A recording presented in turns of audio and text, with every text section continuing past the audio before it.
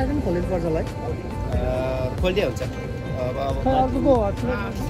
एउटा पनि खोलिदिया हुन्छ किनभने मान्छे छ क्या